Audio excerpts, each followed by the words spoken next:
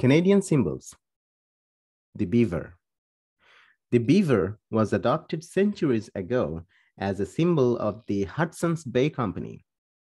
It became an emblem of the Saint Jean Baptiste Society, a French Canadian patriotic association in 1834, and was also adopted by other groups. This industrious rodent can be seen on the five cent coin, on the coats of arms of Saskatchewan and Alberta, and of cities such as Montreal and Toronto.